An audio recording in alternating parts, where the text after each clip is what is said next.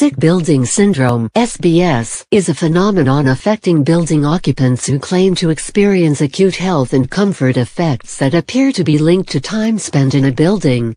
Building occupants complain of symptoms such as sensory irritation of the eyes, nose, throat, neurotoxic or general health problems, skin irritation, non-specific hypersensitivity reactions, infectious diseases, bacteria, molds, pollen, and viruses are types of biological contaminants and can all cause SBS.